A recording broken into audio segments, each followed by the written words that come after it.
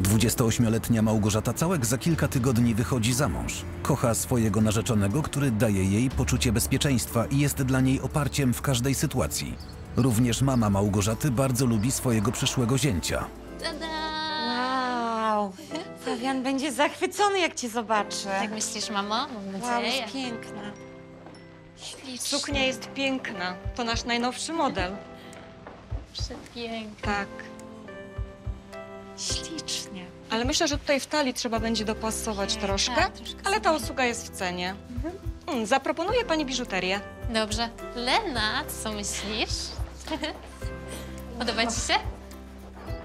Myślisz, że Fabianowi się spodoba? No pewnie, wiesz, że jemu podoba się wszystko, co wybierzesz. Ale nie jest zbyt ekstrawagancka. Nie, jest idealna. On jest taki kochany, mój Fabianek. Gosia? To naprawdę ty. Konrad, co ty tu robisz? E, Zobaczyłem cię przez okno. Ty wychodzisz za mąż? Chyba nie twoja sprawa, co? Chciałem tylko porozmawiać. Ciekawe o czym. Nagle po trzech latach zachciały ci się rozmów. Po tym, jak zostawiłeś Małgosię przed samym ślubem, Mamo, przestań. miał swoją szansę. Zerwał zaręczyny, to niech teraz nie miesza ci w życiu. Dobrze, przepraszam. To był błąd, że tutaj wszedłem. Duży. Tak, to był błąd i nie powinno cię tutaj być. Gosia, poczekaj. No na co czekasz? Do widzenia. Do widzenia.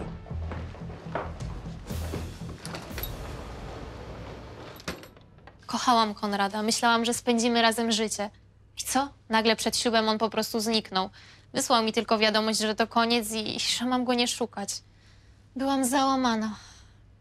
Myślałam, że już nigdy nie będę szczęśliwa. Ale nagle pojawił się Fabian i jestem tu, gdzie jestem. Co za bezczelność. Wchodzi tu sobie jak gdyby nigdy nic. Jak mu nie wstyd. Małgosia tak cierpiała, gdy zniknął. Myślałam, że się nie pozbiera. A teraz jest szczęśliwa z Fabianem i Konrad dla niej nie istnieje. Małgorzata jest roztrzęsiona spotkaniem z byłym narzeczonym. Wróciły do niej wszystkie emocje, które przeżywała po ich rozstaniu. No bezczelny. Po co on tu w ogóle przyszedł? No przecież mówił, że zobaczył mnie przez okno. I co z tego?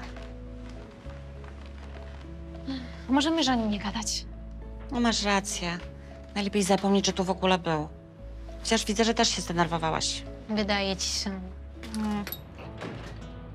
Dzień dobry. O, cześć Fabian. To To nie wiesz, że widok narzeczonej w sukni ślubnej przynosi pecha? Spokojnie, nie jestem przesądny.